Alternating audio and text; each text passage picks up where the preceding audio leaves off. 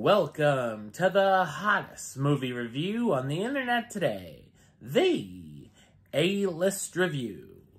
I am your host, the Game Changer, Wes Troop, and it's time to go back to the theater, and it's time to find your perfect pitch and bust out those dancing shoes.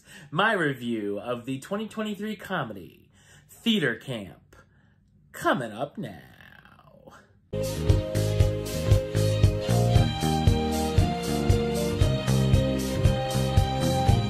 When Joan, the founder of a summer theater camp, has a stroke after watching a performance of Bye Bye Birdie and falls into a coma, her clueless son, Troy, takes over even though he's a terrible businessman. With financial ruin looming, Amos and Rebecca Diane, two of the camp's teachers, hope to keep the camp afloat and premiere their latest annual original musical, Joan Still, a tribute to their comatose founder. So, what did I think of Theater Camp? I thought it's a charming and amusing comedy.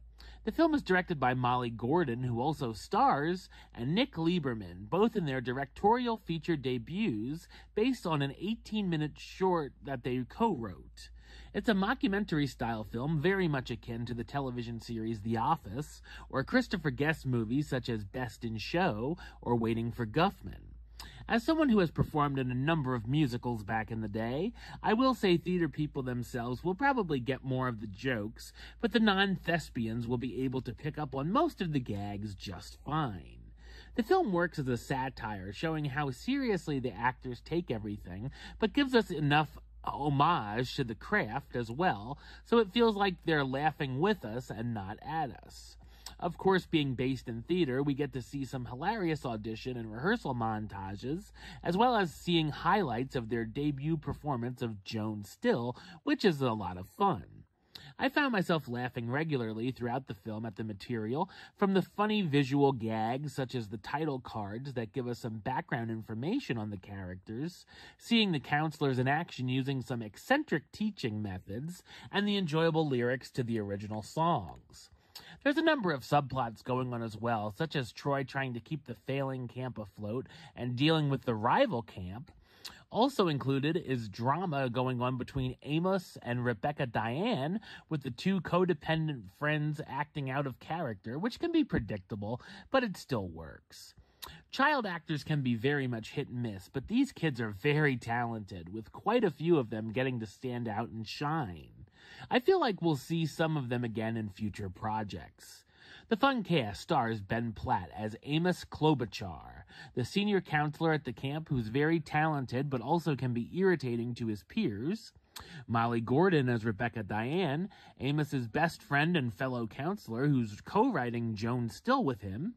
Jimmy Tatro as Troy Rubinsky, Joan's clueless son who wants to be a financial bro.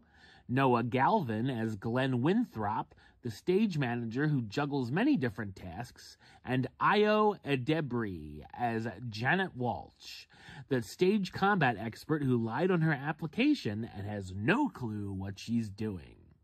Theater Camp is a humorous and feel-good comedy worth attending. Number-wise, I'm going to give it an 8 out of 10, which gives it the A-list rating of Do It, and a high Do It at that. Alright, well that's the show. I'll be back with another review very soon. But until then, don't forget to subscribe, like, and comment right here on YouTube. YouTube.com slash Westside515.